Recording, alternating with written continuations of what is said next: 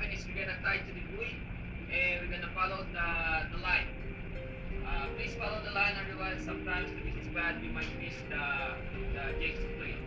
Once you are down here, look on your left and you'll see the, the Jake seaplane. The line is not attached to the so I, I would recommend the suggest to follow the board line down.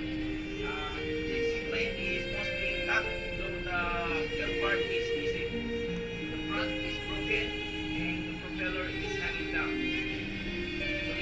night.